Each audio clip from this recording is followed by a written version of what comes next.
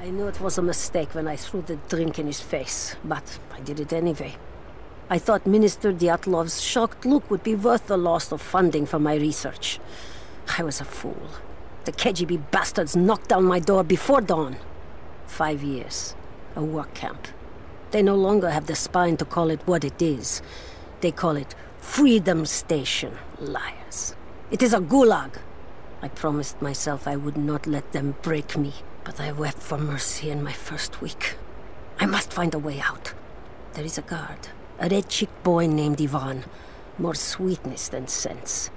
It pains me to use one so guileless as he, but I will not rot here.